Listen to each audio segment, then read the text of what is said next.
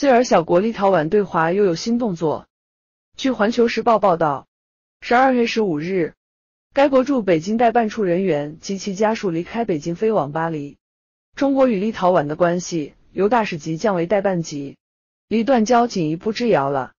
现在立陶宛又撤回了代办处人员及家属，两国关系靠远程运作，说明双边关系危如累卵，只剩一句公开宣誓分手了。立陶宛为何非要死磕中国，非要将中立关系降低到这种程度呢？说到底，立陶宛只是美国的一枚棋子，且这枚棋子非马非车，只是一枚马前卒罢了。立陶宛是中美俄大国博弈中被美国运用的棋子。按中国象棋的规则，过了楚河汉界就身不由主了，只能往前走，不能往后退。至于何时被吃掉，就看他自己的造化了。立陶宛撤回驻华代办处人员及家属，是在骑虎难下的情况下祭出的一招臭棋拱卒。立陶宛实际上已经拱了很多不足了，比如中国同中东欧国家的十七加一机制本来运行良好，但立陶宛第一个退出。截止目前，他也是退出的唯一一个国家。比如，立陶宛国防部长号召该国国民不要购买中国制造的手机，排斥中国华为公司的五 G 网络建设。比如，立陶宛公开派议员访问台湾，并与台湾互设代表处，严重违反两国建交原则。这些恶行都是立陶宛政府在美国支持或唆使下的拱足步骤。立陶宛自愿充当了美国印太战略的马前卒角色。现在已发展到邀请美国在立陶宛驻军，做美国与中俄对抗的前沿阵地了。当然，对于立陶宛的拱足行为，中国给予了坚决反击，将两国关系从大使级降低到代办级，就是外交上的最猛烈反击计划。这是中国首先提出来的，并立即撤回常驻维尔纽斯大使复职行动。随着两国关系降级，其他一些配套措施也跟上了。比如中欧铁路在立陶宛首都维尔纽斯不设停靠站点，比如中国要求一些跨国公司在中立之间二选一等，这些措施给了立陶宛经济上很重的打击。现在该国的外长与交通部长已主动提出了辞呈，虽未获准，但说明其心理压力之大。而且立陶宛整个行政系统都面临集体辞职的危险，在整个大国博弈的棋局中，卒是一个牺牲者的角色，很悲壮。但在未被马炮车这些强兵利器吃掉之前，卒就要坚持拱下去，直到死亡。为了鼓励这个小卒在做死路上无所畏惧，美国也下了不少本钱。美国国防部长奥斯汀不吝给立陶宛戴个高帽，公开称立陶宛是区域民主灯塔，并答应卖给立陶宛武器，与其签署了互惠防务采购协议。其实这只不过是为立陶宛拱卒提供的草料罢了。美国的精明之处在于，提供草料也没忘了赚钱。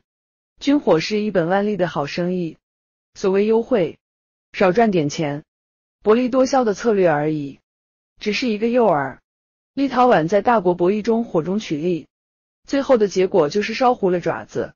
暂时的洋洋自得，只是因为其眼光的短视。中国别的本事没有，但采取必要的措施敲掉这个小卒的本事还是有的。可以预料的是，立陶宛难受的事还在后边。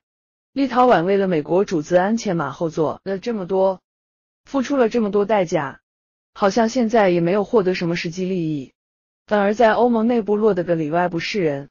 所以立陶宛终于憋不住了，向美国开出价码。十二月九日，立陶宛总统正式向美国提出邀请，希望美国在立陶宛永久驻军。这个新闻一出。立刻让中国社交媒体炸了锅，网友们都很不理解，都现代社会了，为啥还有一个国家求着希望自己成为大国的殖民地？还是那句话，对于小国而言，面子啥的都是虚的，只有利益才是实打实的。对于立陶宛而言，一旦美国在立陶宛永久驻军，有两大好处：其一，牢牢捆绑美国，彻底解决立陶宛焦虑不安的安全问题；其二。美国境外驻军可是出了名的花叉花叉，比如过去在阿富汗的美国驻军不过几千人，但是每年的开销就是几百亿美元。对于立陶宛这样的小国而言，如果能实现让美国永久驻军，其实就是相当于拉来了一批美国财政供养的人员的永久消费。立陶宛每年的 GDP 不过五百五十亿美元，哪怕美国太军每年消费五十亿美元，这就是增加了整整百分之十的 GDP 啊！这就是立陶宛的小国心机。别给我整那种六亿美元额度虚头巴脑的东西，来点实际的。美军快来撒钱吧，人数越多越好。但是立陶宛的这个要求，美国是很难答应的。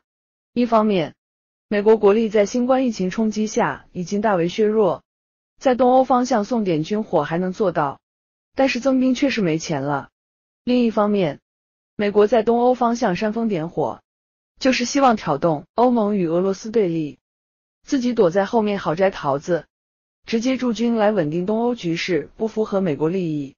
但是站在立陶宛的角度，如果这个开价得不到美国的支持，估计在台湾问题上就要打退堂鼓了，没有实打实的好处，让立陶宛去因抗中国的压力。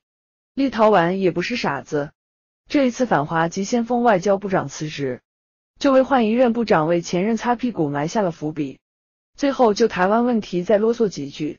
立陶宛事件爆发之后，网络上就有一种急躁的情绪，认为我国太被动了，老是在台湾问题上被美国做文章，连立陶宛这样的小国也来碰瓷，要一劳永逸防止类似事件，就要尽早解决统一的问题。这种认识就犯了方法论的错误。这个世界的问题从来就没有一劳永逸的解决方案，两岸即使统一。别人同样也可能拿着台湾来做文章。比较典型的例子，新疆总是中国完全掌握的领土吧？美国还不是无中生有，搞出一个种族灭绝问题来反复恶心你？我们换一个角度来思考台湾问题，就会发现，台湾问题摆一摆拖一拖也未必是坏事。正是因为两岸统一问题没解决，正是因为美国一直打台湾牌。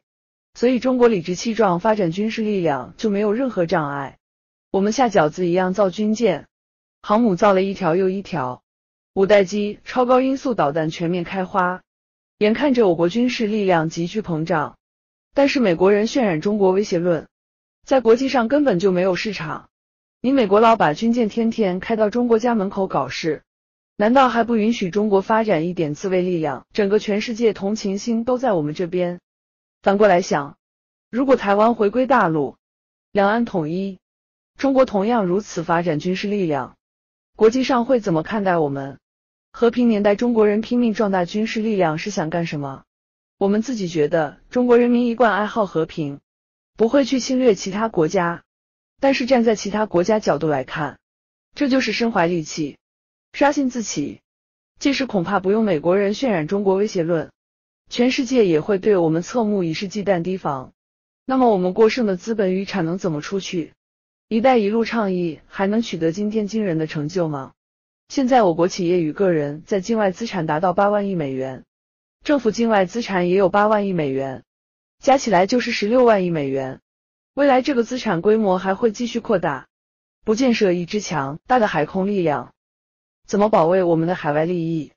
所以现在的情况从长远来看是最有利的。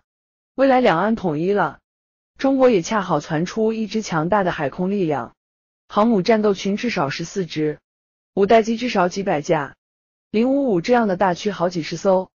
想象一下飘着五星红旗的航母舰队驶入波斯湾，并且经苏伊士运河进入地中海是啥情景？对全球地缘政治版图变化有多大影响？真的很期待这一天啊！